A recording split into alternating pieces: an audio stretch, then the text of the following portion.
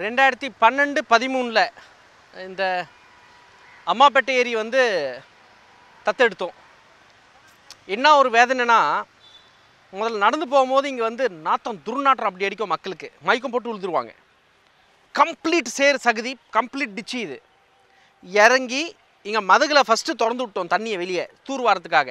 அப்போது இறங்கி அந்த மதகுலேருந்து எடுக்கும்போது மலம் கையில் இருந்தது அப்படியே. என் கையில் மலம் அப்படியே எடுத்து வைக்கிறேன்.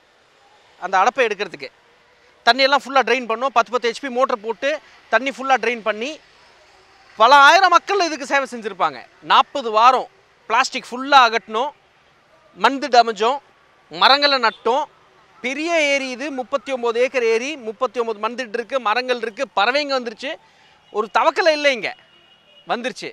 சடனாக இந்த வருஷம் அரசாங்கம் பொதுவாக பண்ணுற மாதிரி நாங்கள் ஸ்மார்ட் சிட்டி ப்ராஜெக்டில் ஐம்பது கோடி செலவு பண்ணுறோம் சொல்லிவிட்டு எங்களையும் இந்த ப்ராஜெக்ட் பண்ண விடாமல் அவங்களும் ப்ராஜெக்ட் பண்ணாமல் திருப்பியும் சாயப்பட்ட தண்ணி ஃபுல்லாக உள்ளே வர ஆரம்பிச்சிருச்சு. இவங்களுக்கு பணம் வந்தால் தான் இவங்க வந்து திரும்பி பார்ப்பாங்க போல. ஸ்மார்ட் சிட்டி பணம் வரலன்ட்டு கேட்டால் வரலன்னுக்குவான் ஆனால் இந்த சாயப்பட்ட தண்ணியெல்லாம் யார் நிறுத்துறது?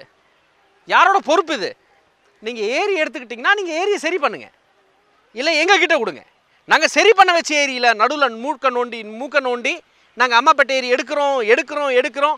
எடுக்கிறோன்னு அர்த்தம் என்ன இருக்குது நீங்கள் ஆறு மாதமாக சொல்லிட்டு இருக்கீங்க எடுக்கிறோம் எடுக்கிறோன்ட்டு எனிவே ஒரு வேதனை. ஆனால் இதுதான்.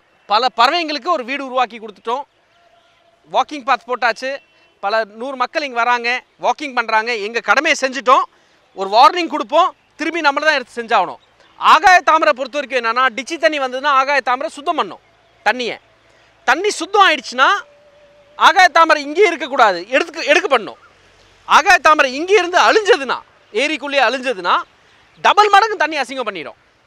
அது கூட கண்டிப்பாக சாயப்பட்ட இந்த சாயப்பட்ட இருக்கட்டும் ப்ளீச்சிங் ஃபேக்டரியாக இருக்கட்டும் அது கட்டுப்பாட்டில் இருக்கணும் ஒரு அந்த கட்டுப்பாடு வந்து யார் ஏரி தத்தெடுத்துருக்காங்க அவங்கக்கிட்ட இருக்குது பொறுப்பு. இப்போது மாநகராட்சி ஐம்பது கோடி நான் செலவு பண்ண போகிறேன் ஐம்பது கோடி நாங்கள் ஸ்மார்ட் சிட்டியில் எடுத்துட்டோம். வேர்ல்டு கிளாஸ் ஆக போகிறோம் அம்மாப்பேட்டை ஏரி சொன்னால் இதான் வேர்ல்டு கிளாஸ் ஆகிற நிலமை. நாங்கள் இதுக்குள்ளே தான் நின்று மூணு மாதம் முன்னாடி. இதுக்குள்ளே தான் நின்று ஆக தமிழெல்லாம் க்ளீன் பண்ணிகிட்டு இருந்தோம். தண்ணி சுத்தமாக இருந்தது. எனிவே பார்ப்போம்